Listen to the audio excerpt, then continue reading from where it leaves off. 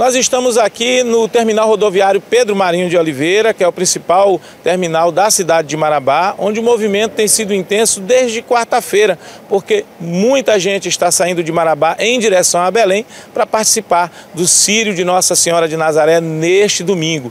E eu conversei agora há pouco com a Elizabeth, que é uma das funcionárias aqui de uma das empresas de ônibus aqui de Marabá, e ela nos deu um panorama sobre como está o fluxo de passageiros e o que as empresas têm feito para atender essa demanda. Ontem a gente teve quatro carros extras e hoje a gente está com mais três carros extras e variando de carros de leite, semileitos e executivos, com, variando entre 40, 48 lugares até 52 lugares. Então, assim, foram bastante, bastante vendas, assim. Teve um aumento bem significativo para as vendas do Sírio.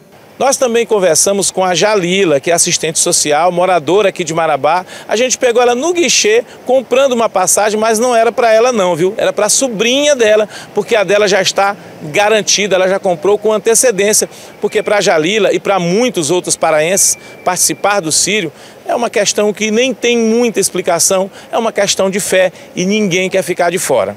Quando eu posso, eu vou. Sempre que eu posso, eu vou, porque é uma coisa da, da fé da gente, né? Que a gente não consegue.